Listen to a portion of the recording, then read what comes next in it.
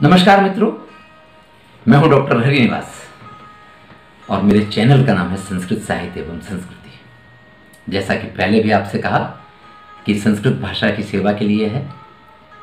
संस्कृत साहित्य से आपको अगर जरा सा भी प्रेम है तो आप इस चैनल पर आनंद ले सकते हैं।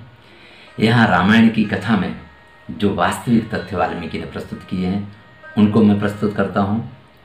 महाभारत में जो वास्तव में महर्षि वेदव्यास ने लिखा, उसको मैं प्रस्तुत करता हूँ। वर्तमान में इनके स्वरूप बहुत बदल गए हैं।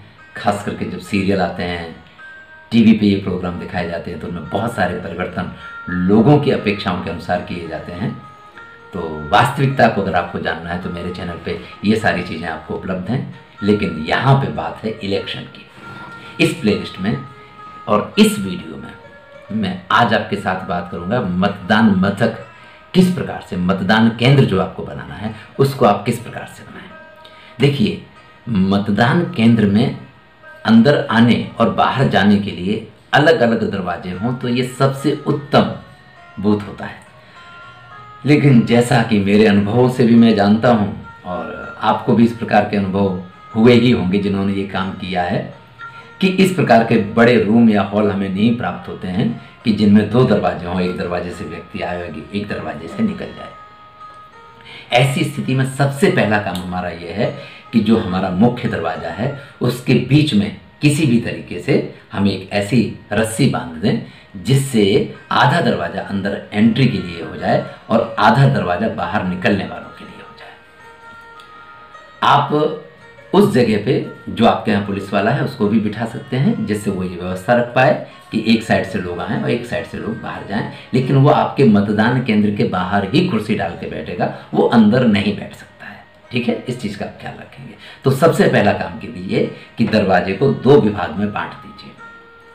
अब ये आप ख्याल रखिए कि अगर राइट साइड से आप एंट्री रखते हैं तो लेफ़्ट साइड से बाहर जाएँगे और लेफ़्ट साइड से एंट्री रखते हैं तो राइट साइड से बाहर अब जिधर से व्यक्ति अंदर एंटर होता है, आपको इस चीज़ का ख्याल करना है कि वो जैसे ही रूम के अंदर आए, सबसे पहले वो जो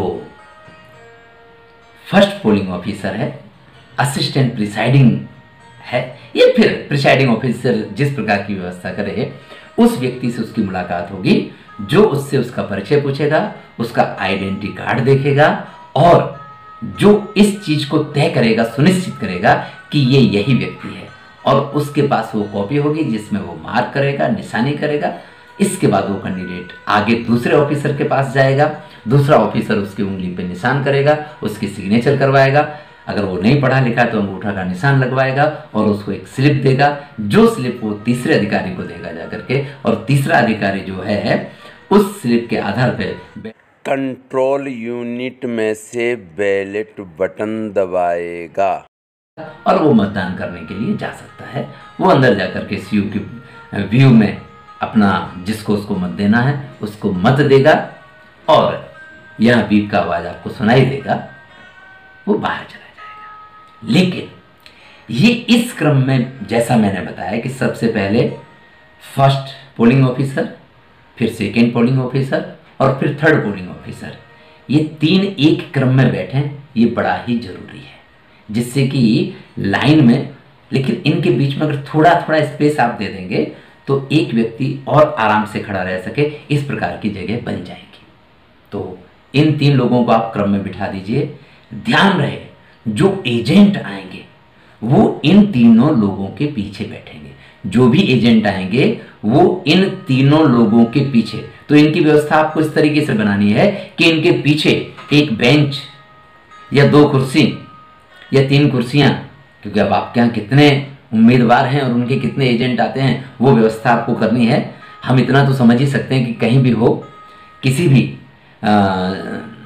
राज्य में हो, मुख्य दो या तीन पार्टियाँ तो ऐसी हैं जिनके बीच में ये संघर्ष हो रहा होगा तो वो मुख्य दो या तीन पार्टियों के एजेंट तो वहाँ बैठेंगे। उनके लिए हमें कोई व्यवस्था करके देने की ज़रूरत नहीं है। अगर स्कूल में बेंच अवेलेबल है, हम कर दें। लेकिन अगर नहीं है तो अपनी कुर्सियाँ लाएँगे, अपनी कुर्सियाँ ला करके अपनी कुर्सियों पे वो बैठ जाएँगे। लेकिन हमें उन्हें जगह तो देनी पड़ेगी। तो रूम में जहाँ हमारे polling officer one two three बैठे हैं, उनके पीछे ये जगह उनके लिए होनी चाहिए। इसका ख्याल रखना है। देखिए प्रिसाइडिंग ऑफिसर का काम है रूम में घूमते रहना। वो अपनी एक कुर्सी और एक टेबल अलग इस तरीके से लगा सकता है कि जिससे वो सारे चीज़ को मॉनिटर कर पाए। यहाँ पे मैं आपको एक चित्र दिखा रहा हूँ और उस चित्र में ये सारी चीज़ें आपको बताई गई हैं। जैसा कि इस चित्र में दिखाई दे रहा है प्रिसाइडिंग ऑफिसर ने अपना स्थान अलग बनाया हुआ है। लेफ़्ट साइड में मतदार कुटीर बनी हुई है और नीचे के भाग में चित्र में आपको polling officer one two three बैठे दिखाई दे रहे हैं। इन पोलिंग ऑफिसर्स के पीछे के हिस्से में एजेंट के लिए जगह होगी। दरवाजे पे भी आप देख पा रहे हैं इन और आउट दोनों के विभाग बनाए हुए हैं। जो प्रमुख अधिकारी है जो प्रिसाइडिंग ऑफिसर है जो पीठासीन अधिकारी है वो इनमें से किसी चीज़ का हवाला नहीं लेगा। न तो वो मार्क कॉपी रखेगा ना वो निशानी करेगा ना ही वो व्यू सी अपने पास।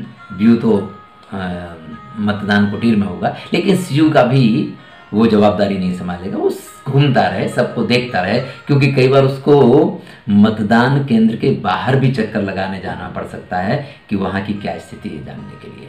लेकिन ध्यान रहे, आपकी ये जवाबदारी है कि जब मत कुटीर में मतदाता मत देने गया है और उसने वोट दिया है, उस समय वीप का आवाज़ आया या नहीं आया, ये आप ज़रूर ध्यान दें इस चीज़ पे।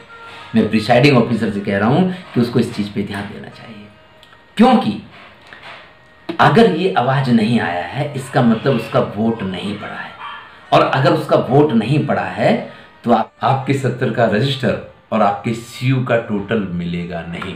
वहाँ गड़बड़ हो जाएगी। इसलिए प्रत्येक मतदाता मत दे करके ही जाए। वो बिना उसका मत कास्ट किए उसने धीरे से बटन दबाया, किसी वजह से मत नहीं पड़ा। या कई बार क्या होता है, उन्हें नहीं मालूम होता है कि हमें ये ब्लू बटन दबानी है। वो जहाँ पे लाल लाइट होती है ना, उस लाल लाइट होने वाली जगह पे दबाते हैं। कई बार तो जहाँ उनका निशान होता है, उस निशान को टच करके चले जाते हैं। तो ऐसी स्थिति में वीप का आवाज़ नहीं आएगा। तो वीप का आवाज़ आए, ये आपको सुनिश्चित करना है। ध्यान रहे मत कुटीर जो आप बनाएँ, वहाँ प्रकाश की व्यवस्था होनी चाहिए, जिससे हर व्यक्ति को दिखाई दे कि कौन सा किसका सिंबल है, कौन सा किसका नंबर है, वो देख पाए। लेकिन इसके साथ ही उसके पीछे कोई खिड़की, कोई दरवाज़ा, इस प्रकार की व्यवस्था नहीं हो कि वो किसको मत दे रहा है, इस चीज़ को कोई देख पाए। अगर आपके यहाँ लाइव टेलीकास्टिंग चल रहा है बहुत सारे ऐसे सेंसिटिव बूथ होते हैं, जहाँ गवर्नमेंट की व्यवस्था करती है कि वहाँ से लाइव टेलीकास्ट होना चाहिए, या वहाँ से वेब कैमरा लगे होते हैं, जिससे कि उसको देखा जा सके। तो ऐसी स्थिति में आपको बड़ा ही ख्याल इस चीज़ का रखना है कि आपकी जो मत कुटीर बने, वो ऐसी जगह होनी चाहिए, जहाँ पे ना वो वेब कैमरा उस चीज़ को चेक कर पाए ना पीछे बैठे हुए एजेंट इस चीज़ को देख पाए कि वो किसको मत देख रहा, मत दे रहा है, ना पोलिंग ऑफिसर से लेकर प्रिसाइडिंग ऑफिसर तक इस चीज़ को देख पाए कि मत किसको दिया जा रहा है। क्योंकि ये बड़ा ही गोपनीय होता है और इसकी गोपनीयता का पूरा पूरा ख्याल रखा जाए, ये भारतीय निर्वाचन आयोग की पहली शर्त है। तो मत कुटीर, आप इस तरीके से बनाएँ। दूसरी बात, मत कुटीर बनाने के लिए आपको जो पुट्ठा वगैरह दिया गया है क्योंकि इस बार आपका व्यू और आपका जो वीवीपैट है, दोनों वहाँ रखे जाएँगे। इसलिए टेबल थोड़ा बड़ा होना चाहिए, जिस पे ये दोनों चीज़ें आ जाएँ। वैसे इस बार जो वीवीपैट आया है, उसकी साइज़ थोड़ी पहले से स्लिम हो गई है। वो ज़्यादा नवयुवान दिखता है और जो व्यू है, वो तो जैसे पहले था उसी प्रकार से है।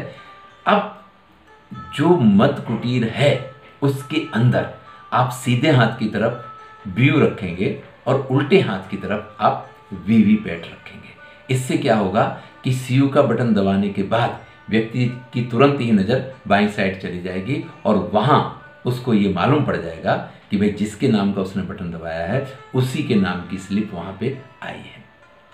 वो स्लिप ना तो वो घर ले जा सकता है वो स्लिप वो खाली सात सेकेंड के लिए देख सकता है। सात सेकेंड के बाद दोबारा देखना चाहेगा तो देखने को नहीं मिलेगी, क्योंकि वो ऑटोमेटिक कट के नीचे गिर जाएगी, जैसा कि आपको ट्रेनिंग में बताया गया होगा। तो इस प्रकार से, फिर से एक बार हम बता दें कि आपको मतदान केंद्र कैसे बनाना है।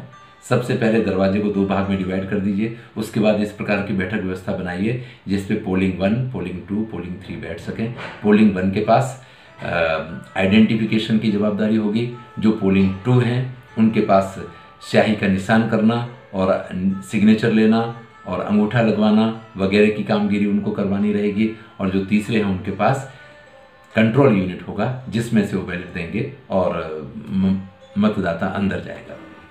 लेकिन इन तीनों की बैठक व्यवस्था आपको इस तरीके से बनानी है कि इनके पीछे एजेंट लोग बैठ पाए।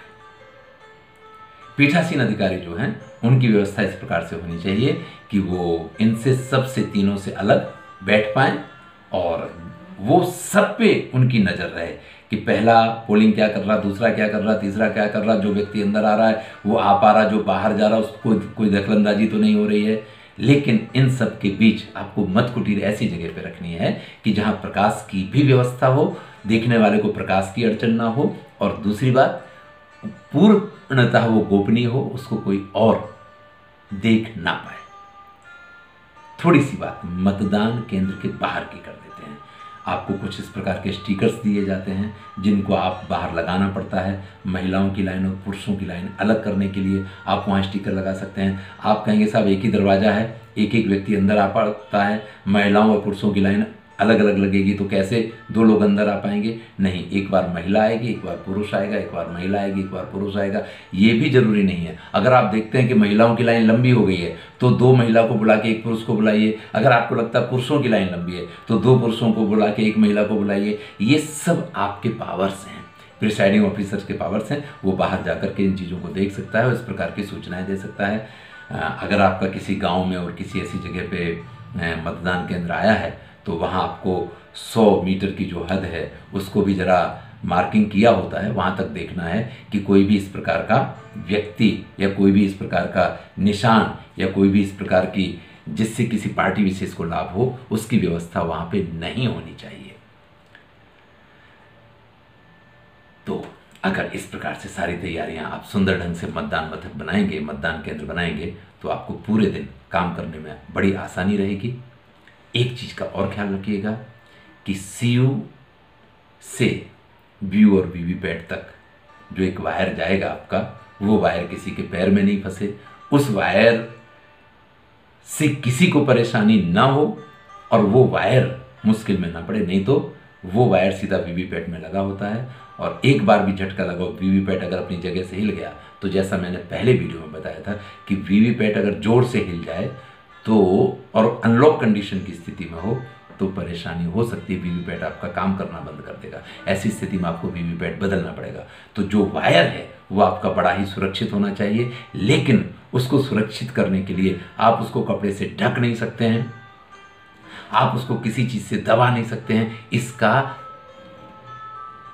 चुनाव आयोग ने स्पष्ट उल्लेख किया है कि ऐसा आप नहीं कर सकते। वायर खुला होना चाहिए और फिर भी कोई उस वायर में फंसे नहीं, किसी को उस वायर से अड़चन ना हो। इस चीज़ का ख्याल आपको रखना है। ये बड़ा ही ज़रूरी बात है। धन्यवाद। अगले वीडियो में हम चर्चा करेंगे मूक बोल अगर आपको ये वीडियो अच्छे लग रहे हैं तो मित्रों के साथ शेयर करें। अधिक से अधिक लोगों को इसका लाभ हो। धन्यवाद। देखते रहिए, मैं हूँ डॉक्टर हरिनिवास और मेरे चैनल का नाम है संस्कृत साहित्य एवं संस्कृत।